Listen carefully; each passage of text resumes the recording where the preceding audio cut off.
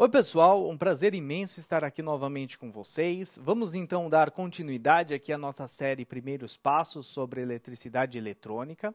Na primeira aula, a gente falou sobre os conceitos básicos aí fundamentais sobre eletricidade, que são os conceitos de tensão, corrente e resistência elétrica. É, vimos a importância deles, vimos que com uma fórmula muito simples que relaciona essas três grandezas aí, a tensão, a corrente e a resistência, a gente já consegue consegue é, utilizar de forma prática aí nos nossos projetos com microcontroladores, seja para fazer um dimensionamento de corrente, seja para fazer um divisor de tensão e fazer alguma adequação de tensões elétricas aí em, em dispositivos que têm entrada e saída com níveis de tensão diferentes tá bom? Então vamos, nos, vamos dar continuidade aqui nos estudos e hoje vamos falar um pouco mais aí sobre circuitos séries. Né? No caso aqui a gente está trabalhando ainda no começo, estamos fazendo, trabalhando somente com resistores, tá? Então vão ser, vai ser um circuito série de resistores, tá? Vamos então entender as características desse circuito série aí com um circuito série com resistores e, e, isso vai nos auxiliar no estudo é, de como, como trabalhar, como calcular as tensões, correntes, resistências e assim por diante, desde que a gente conheça as características do circuito. Então, digamos aqui, nós temos aqui alguns resistores já é, separados aqui. Vamos primeiramente dispor eles de maneira, num, de maneira a conectá-los num circuito série. O que seria um circuito série? Um circuito série nada mais seria do que a associação desses resistores de maneira sequencial. Um sequencialmente conectado aí na, extremidade, na extremidade do outro.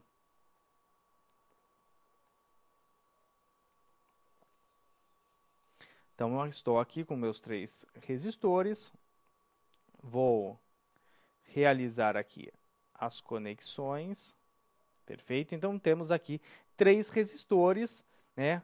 Um conectado aqui na extremidade do outro, sequencialmente, nós criamos um circuito série aqui de resistores. E quais são as características de um circuito resistivo né, com, conectado em série? A primeira característica é com relação ao que a gente chama de resistência equivalente. O que é isso, resistência equivalente? Digamos que a gente coloque aqui uma fonte no nosso circuito. Né? Nós conectamos aqui ao nosso circuito uma fonte. Para a fonte, vamos dizer que a gente tomou o lugar da fonte, entrou aqui no lugar da fonte. Quando a gente olha para esse circuito resistivo, o que, que nós, como, como se fôssemos a fonte, o que a gente vai enxergar? A gente vai enxergar, vamos dizer assim, uma, uma analogia aqui, bem bobinha, um resistorzão. Vamos in, enxergar um resistorzão e o valor desse resistorzão é, na verdade, a resistência equivalente do nosso circuito. E num circuito série, a resistência equivalente né, ela é dada pela somatória das resistências do circuito. Então, quando essa fonte de, de alimentação olha para o nosso circuito, na verdade, ela vê isso daqui como se fosse uma carga única. E essa carga única ela tem como resistência equivalente a somatória das resistências. R1 mais R2 mais R3. No nosso caso aqui, R1 está com 1K, R2 2K, R3 3K. Então, a resistência equivalente, se nosso raciocínio, né, se essa é, característica que a gente comentou agora está correta, a resistência equivalente aqui desse circuito vai ser de 6 kΩ. Tá? 6 vezes, 6 vezes 10 ao cubo ohms. Para a gente verificar se isso faz estar correto ou não, nós vamos utilizar um instrumento de medição que é o ohmímetro. Tá? Então, existe um instrumento de medição chamado ohmímetro. Se você tem um, um multímetro, né, você vai ter lá a opção vai, é, de, de colocar ele para fazer a medição de resistência, que é o que a gente chama de ohmímetro. E Aqui nesse caso, nós vamos colocar o ohmímetro na posição que, que nós tínhamos a fonte, tá? Para o ohmímetro enxergar o circuito da mesma forma que a fonte estava enxergando ele. Então vamos fazer a conexão aqui do nosso ohmímetro no nosso circuito. e vamos clicar aqui em simular para a gente ver se está, se está, na, se está na, uh, da maneira que a gente tinha previsto. Olha lá, a resistência lida 6 kΩ. Perfeito. Então, essa nossa primeira relação aqui, nossa primeira característica do circuito série de resistores está ok. Realmente, a resistência equivalente do circuito é a somatória das resistências, né, do valor de cada resistor que compõe o circuito série. Perfeito? Muito bom. Bacana. É lógico, pessoal, depois a gente também, numa outra aula, vai falar de circuitos em paralelo e também vamos comentar um pouco sobre circuitos, que vai ser a maioria dos circuitos, que vai misturar, né, é, é, é, conexões em série e paralelo, né, que serão os circuitos mais complexos, que são os circuitos do dia a dia, tá bom? Mas essa questão dos conceitos ela é muito importante, porque você pode ir isolando um circuito maior em conceitos menores e conseguindo resolver, conseguindo determinar tensões, correntes, resistências equivalentes, tá? Mesmo em circuitos complexos. Muito bom. Então, agora vamos falar com relação à, à, característica de corrente. A característica de corrente de um circuito série ela é bem interessante e vai nos ajudar bastante, porque ela nos informa que a, a corrente que passa aqui por R1, que passa por R2, que passa por R3 e que saiu aqui da fonte, né, até retornar à fonte, na verdade é a mesma. Então, como é um circuito série, a corrente em todo o circuito é a mesma, certo? Então, a corrente vai ser igual à corrente que passa por R1, vai ser igual à corrente que passa por R2, vai ser igual à corrente que passa por R3.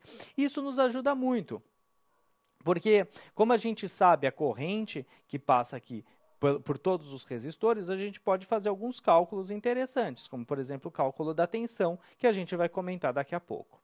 Tá? Então, para ver se esse raciocínio, né, se esse raciocínio não, se essa característica realmente é válida, a gente vai utilizar aqui um medidor de corrente, que é o amperímetro. Então, vamos conectar aqui o amperímetro no nosso circuito.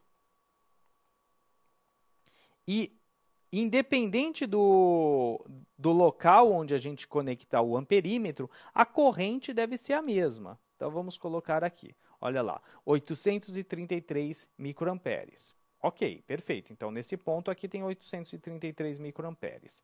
Se a característica do circuito série que nós comentamos for verdadeira, né? então, em qualquer lugar que eu colocar aqui o meu amperímetro, a característica de corrente tem que ser a mesma tenho que fechar o circuito.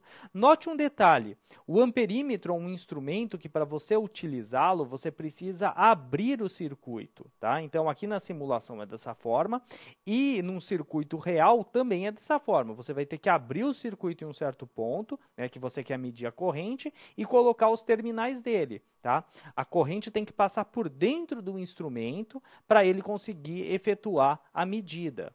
Perfeito? No caso dos é, amperímetros aí que a gente geralmente utiliza aí em, em, em, multímetros, tá bom? Então tem essa característica aí de ter que abrir o circuito para medir a corrente. A corrente ela tem que passar por dentro dele para ele conseguir fazer a medição. Vamos clicar aqui, olha lá, 833 microamperes. Perfeito, ótimo. Então, realmente, essa segunda característica aqui realmente é válida. E a nossa terceira característica, para a gente fechar aqui esse estudo aqui de circuitos séries de resistores, a queda de tensão em cada um dos resistores, né, se somada, vai dar exatamente a tensão da fonte de alimentação. Então, a tensão de R1 mais a tensão de R2 mais a tensão de R3 é igual à tensão da fonte, tá bom? E como a gente. Aqui começa as relações, aquelas relações de tensão, tensão igual a, a, a resistência vezes corrente, começam a, a ser relevantes, porque, como a gente viu anteriormente, que a, que a resistência equivalente do circuito é a somatória das resistências, então se a gente pegar a tensão da fonte e dividir pela resistência equivalente, a gente tem a corrente que flui por todo o circuito. Tendo a corrente que flui por todo o circuito, a gente pode começar a determinar as tensões que caem em cada um dos resistores. Porque, por exemplo, a tensão aqui em R2 vai ser a corrente do circuito, que é a mesma em todo o circuito, vezes a resistência dele. E daí você consegue ter exatamente aqui a tensão em cima desse resistor. Então vamos é, colocar aqui alguns é, voltímetros aqui no nosso circuito.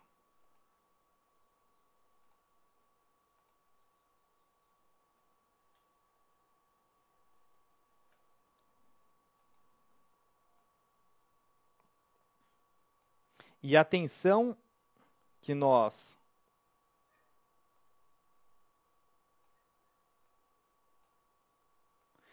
é, a tensão de cada resistor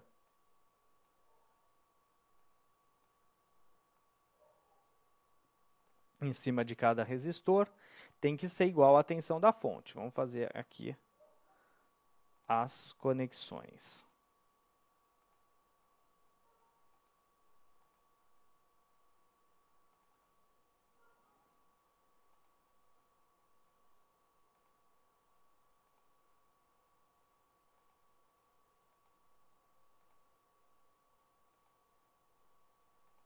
Olha lá, então aqui a gente tem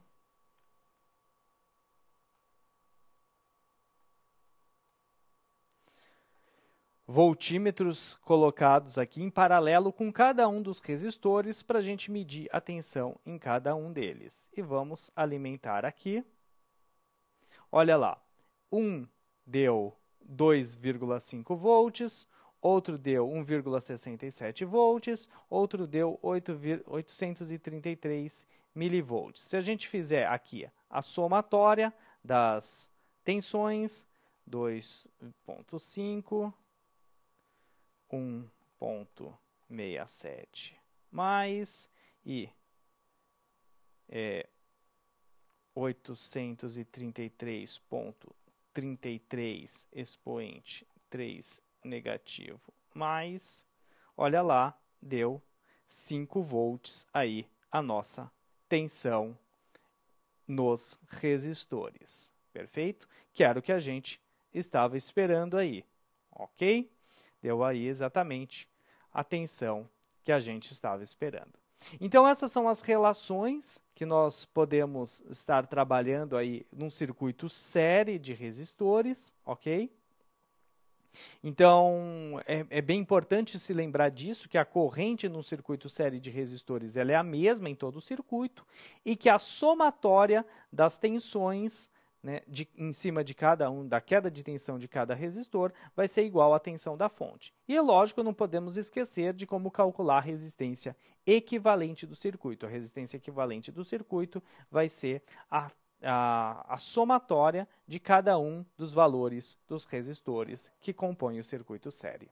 Tá bom? Eu agradeço aí a atenção de vocês tá? É, se inscrevam no nosso canal do YouTube, tá bom? Lembrem-se lá do portal de membros, é, o portal de membros da Microgênios. Esse mês de maio está com desconto especial de 15%, tem muito conteúdo técnico aí para o pessoal, tá estudando eletrônica, microcontroladores, programação, principalmente essa parte de microcontroladores, programação é o nosso forte aí nos nossos, no nosso portal de cursos online. É, estamos também realizando um, um sorteio, tá bom? Então, acessem o blog da Microgênios que vocês vão ter mais informações lá de como participar do sorteio especial, tá bom? Um grande abraço aí a todos e até o próximo Primeiros Passos aí, onde a gente vai falar um pouco mais sobre circuitos aí de eletricidade e eletrônica. Muito obrigado.